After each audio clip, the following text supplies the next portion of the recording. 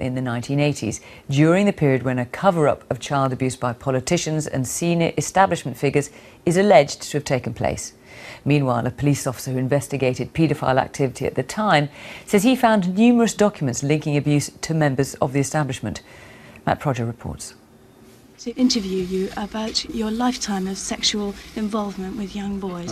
This is Peter Righton, academic, oh, childcare expert, and exposed by the BBC 20 years ago as a paedophile. We have evidence that suggests that you have abused your position of power, that you have abused your position of trust, that you have betrayed colleagues. Before he died, he was convicted of importing child pornography. But a detective on that investigation says it also found evidence he was part of a powerful network of child abusers who corresponded with one another. There were several bags. There was there was about four or five suitcases of material under the bed.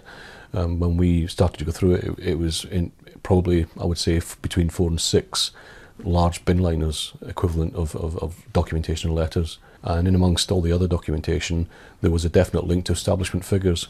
Uh, I can't say more than that at this point, but there was definitely a link to establishment figures, including senior members of the clergy. Today, a man who counts himself as one of Righton's victims spoke to the BBC. He was in care when he says he was passed from one abuser to another. When I was being taken to places where you, I knew things were bad things were going to happen, you'd think might, I might see someone I recognise. I might be able to call out for help or, or say something. I never did. Um, you'd sort of wish you were somewhere else. You'd wish that someone would come and rescue you.